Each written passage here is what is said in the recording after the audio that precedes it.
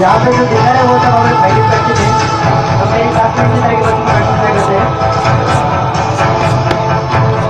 उनको बॉक्सिंग की होता है बॉक्सिंग हर तरह का मार्शल आर्ट ट्रेनिंग हमारे क्लास को दिया जाता है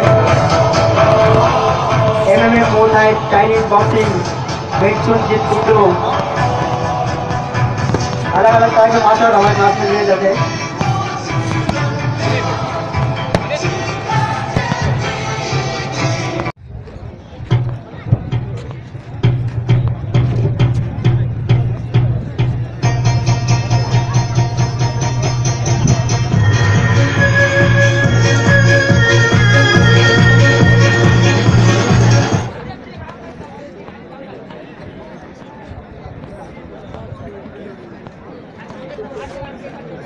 Okay, Egypt.